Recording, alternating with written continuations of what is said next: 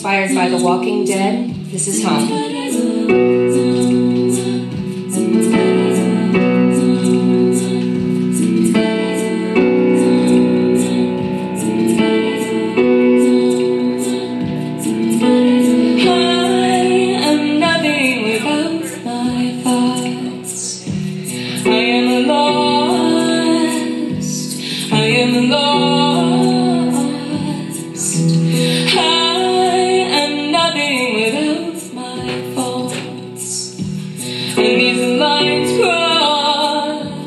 and these lights.